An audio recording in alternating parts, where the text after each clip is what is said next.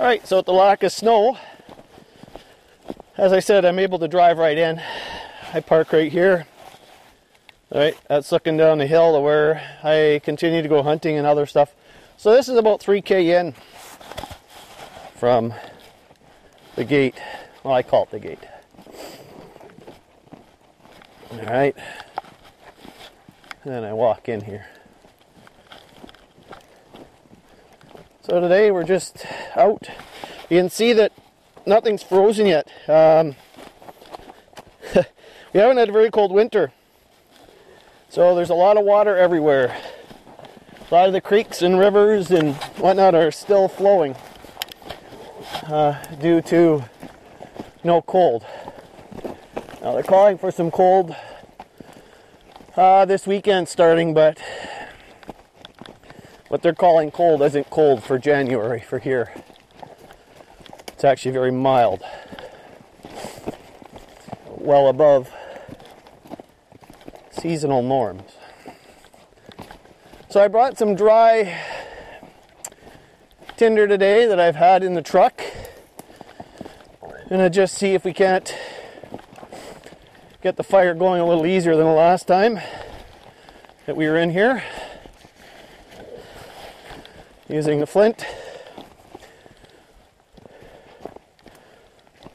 Gotta sneak under some of this stuff here.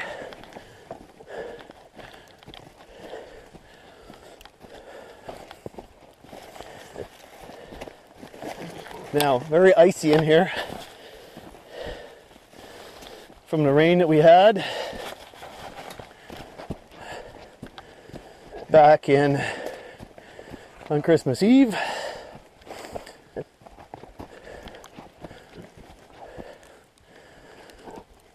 Some of the wood I cut split when I was in here last week.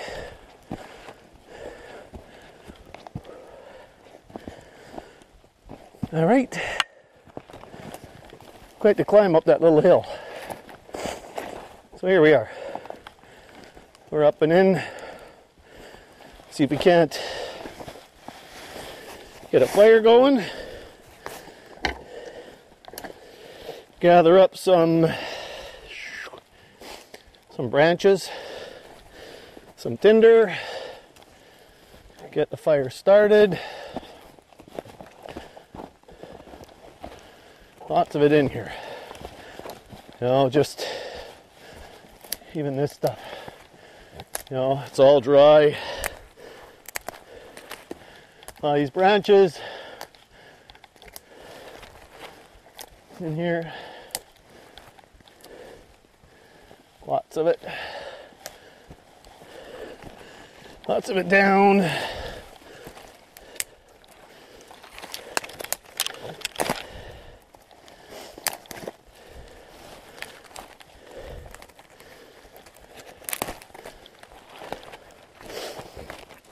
Know, like these.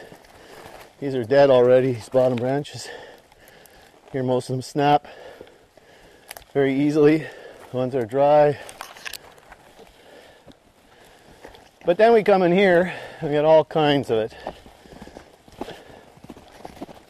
Lots of it here. You know. But again, as I said, we had all that rain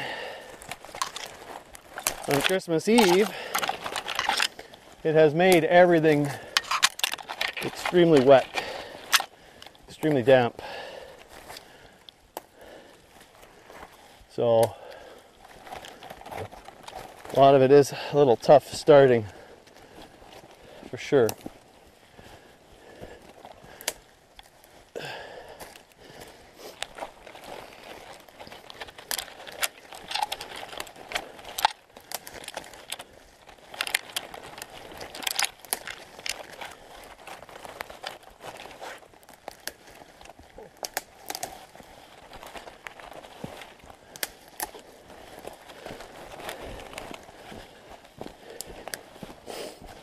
Some of this down there.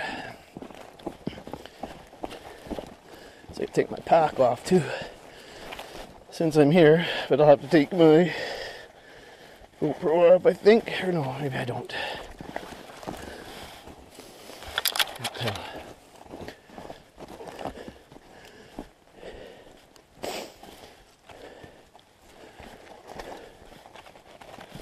So this is where I had the fire last time. Had a piece of bark in here. Let's grab this piece too. Put it in. My backpack off. I do want to record with both machines today.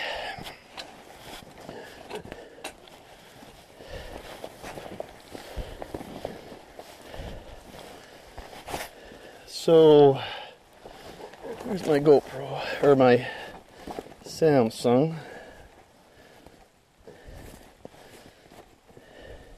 I don't think I put it in this bag, did I? Yes, I did. Now I think about it. All right. Okay, uh, once I get started here, get the bed for the fire ready, I'll uh, start videotaping again. Some sap once again, but as you guys can see, there is no shortage of balsam sap. I think I said fat. Balsam sap is what I'm going to use. And being mild like it is, it flows very freely and lots of it. You know, it's everywhere. All kinds of pockets of it.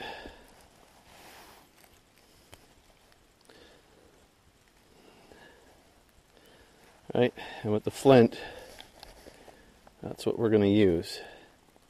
Not the flint, but the ferro rod. Rather. So I've got a bit of a base here started. Put this down in here.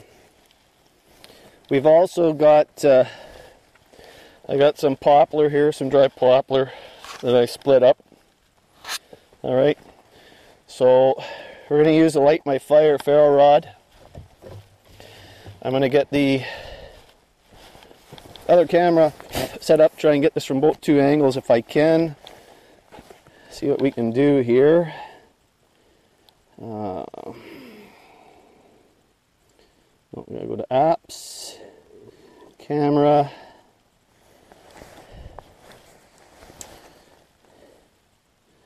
and reverse it. So it's not looking down to the ground where I want it to look down.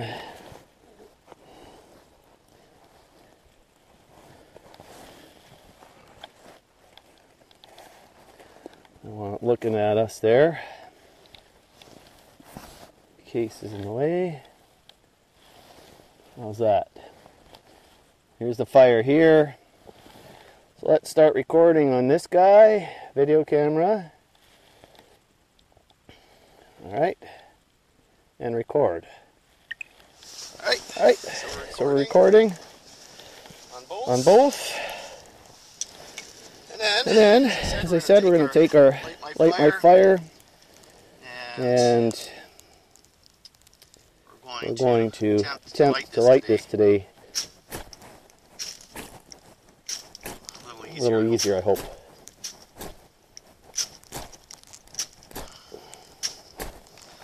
Lots, Lots of lots of lots of spark spark here. here. And it's just a matter, it's just a matter of getting the right one in. one in there.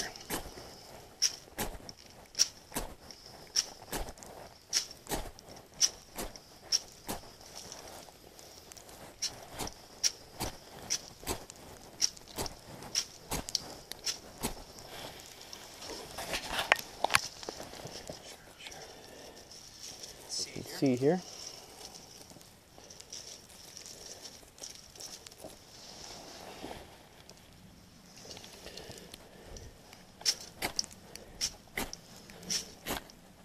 Here we go. There we go. Caught. Caught.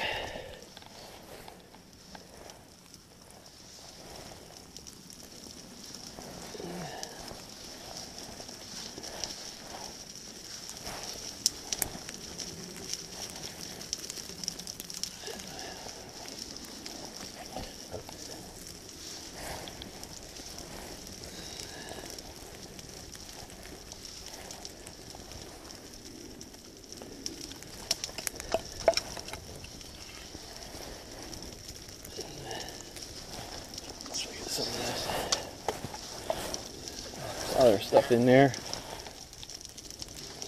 Alright, get some more tinder here. Small stuff.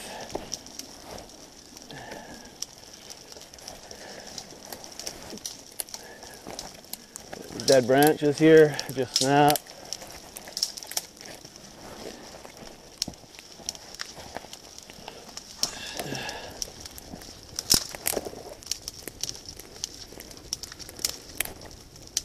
So, it took me a lot less time. with a light, with a light my fire ferro rod, But I also, but I also used some drier tinder. tinder that I've been that I've been gathering up and leaving in the truck. And I usually, And I usually try to gather some up every trip, Put it in, put my it in my tinder bag. No, So you can feel, so you can feel the frost in wood. this wood.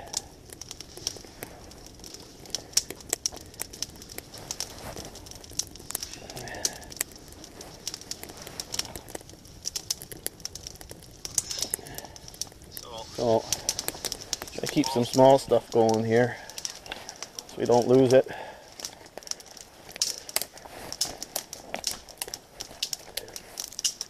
Again, the stuff's readily accessible, so don't have to go far.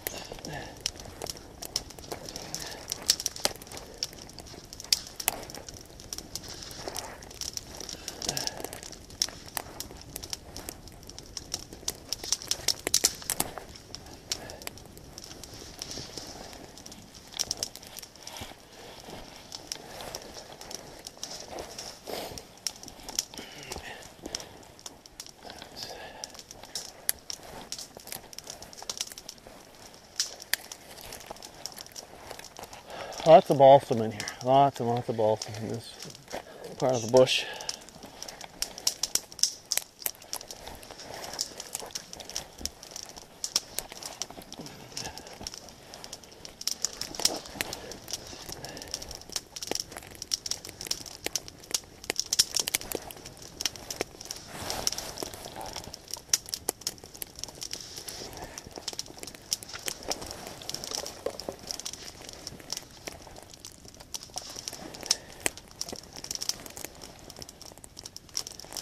Some of the frost off of some of this stuff. It's poplar and poplar is dry. It burns extremely quick. So just trying to get some more dry stuff in there. Keep it going. You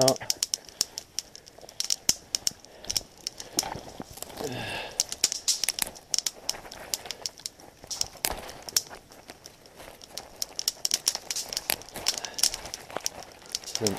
as dry, snapping like it should.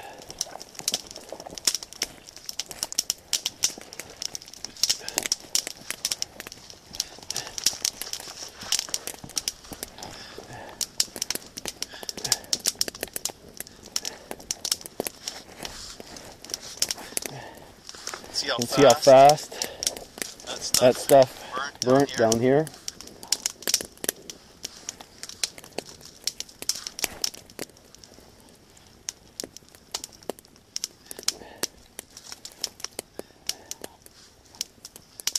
Again, And it's, again, it's, it's all, it's all very wet in in the the rain. rain we had. All right, All right, so I'm gonna get so I'm this going to get this going a little faster, a little harder, and, uh, and uh, we'll get I'll back, get with back with you guys here in a little while. So um,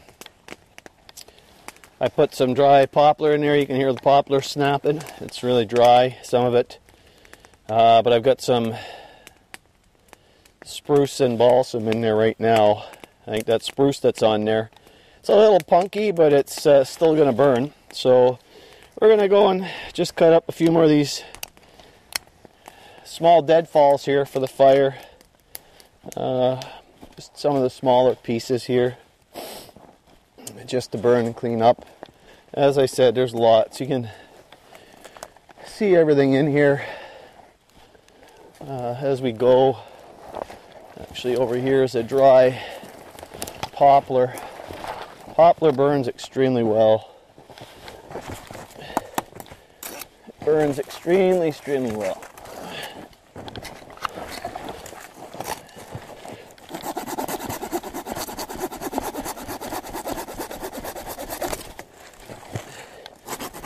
Bit of snow on it.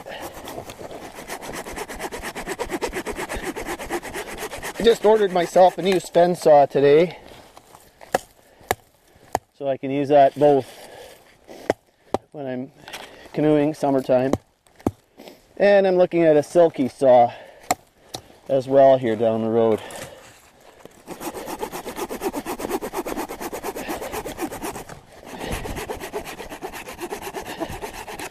Try and see that little guy.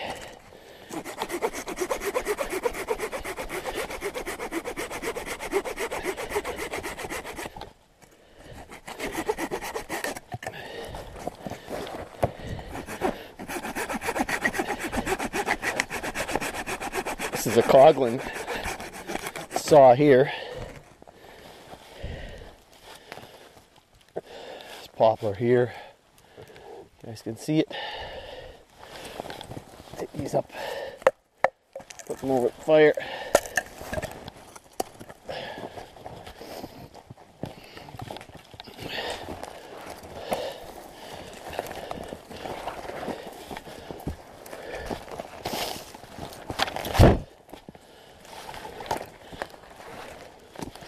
No snow, you guys can see that. It's uh, dry. Dry, dry winter so far, other than, you know, the rain we had. A lot of heat in there. I got my glasses. I can feel it.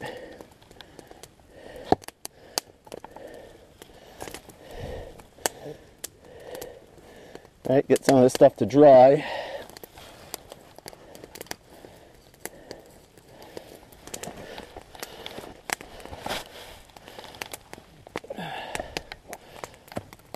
Same time,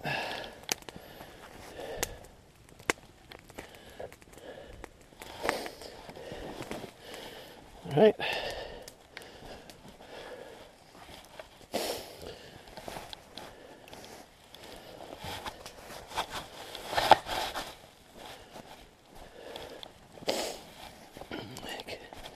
Even this stuff here.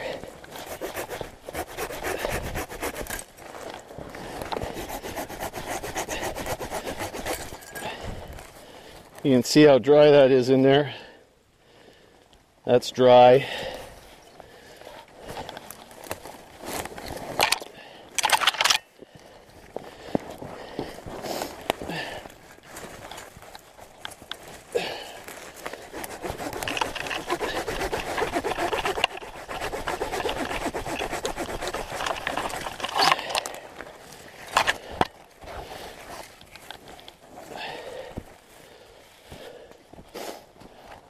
There's no weight to this stuff. That's how dry it is. Branches will burn.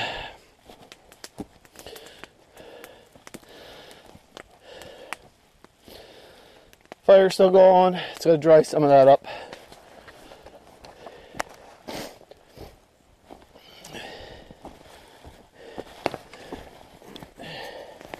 Stuff everywhere here. Antenna is still up. I didn't bring a radio today. The antenna is up.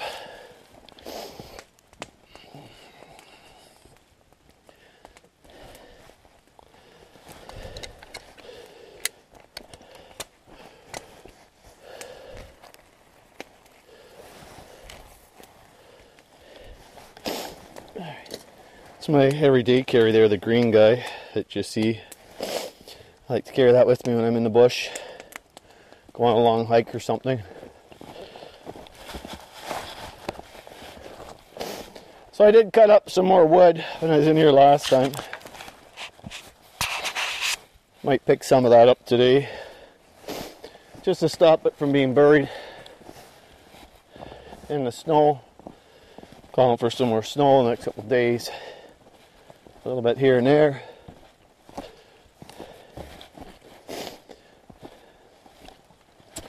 I'm thinking of putting a shelter up here this winter as well, maybe over the next month or so. Come up in here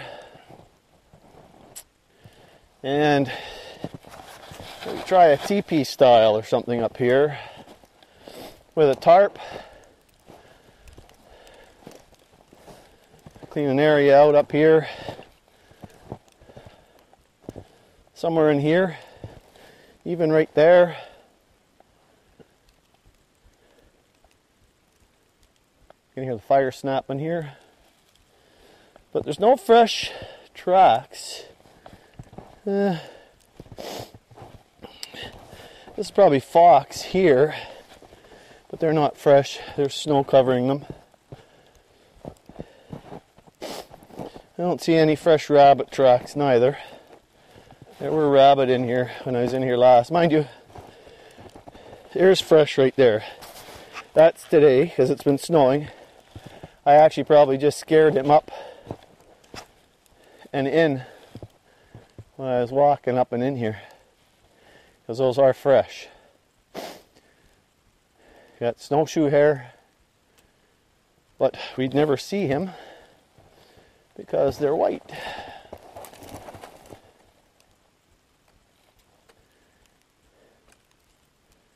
Tough to spot them. They sit very still. Yeah, you can see that branch in there. Looks like he's been gnawing on that branch that's in there.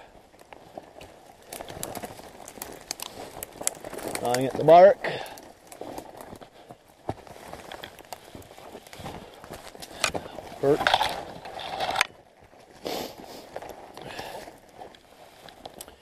Yeah, he didn't go too far. Looks like he was under the tree.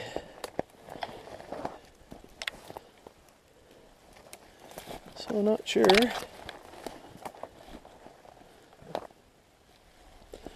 tracks go from there.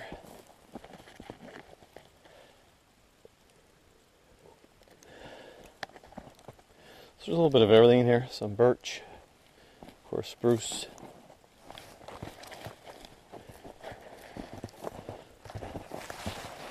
Pine.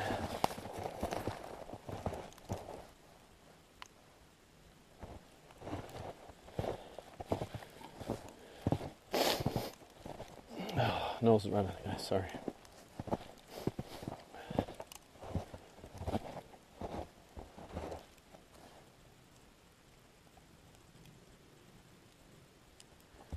Absolutely quiet out here. No dogs today. No birds. Jet going over right now. That's about it though. Quiet.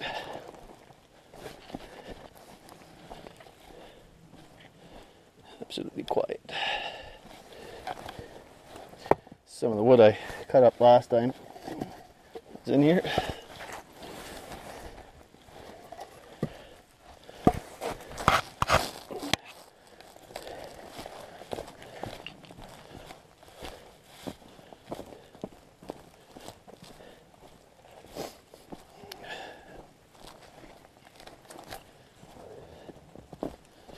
This is perfect overnight weather.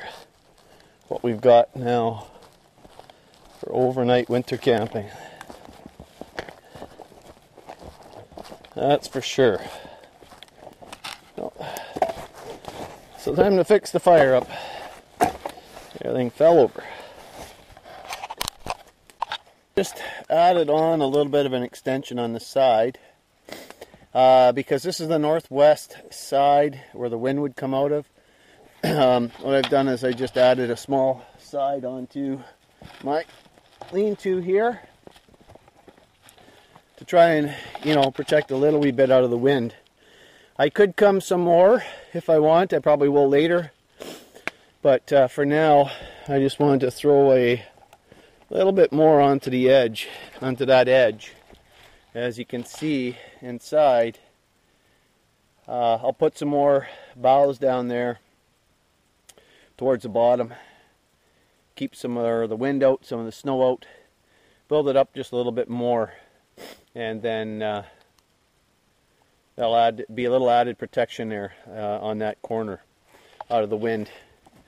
So a few more loads of boughs there, and you can see on the roof here where last time I had the fire going, how much warmer it got melted the uh, snow there.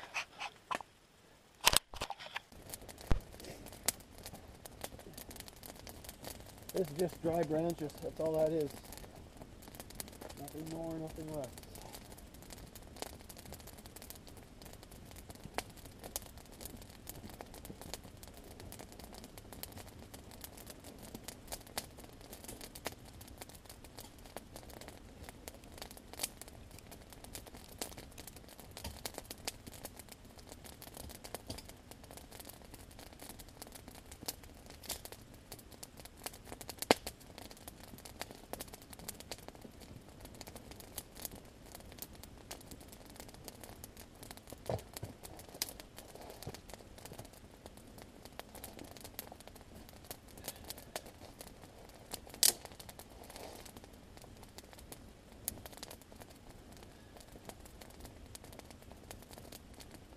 Lots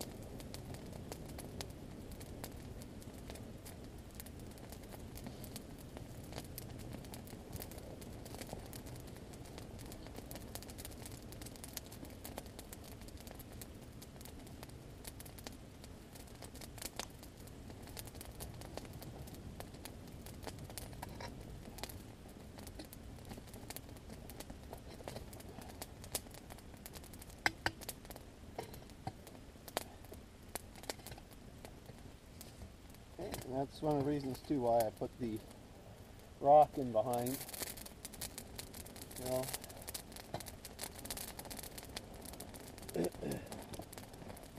Up against the reflector.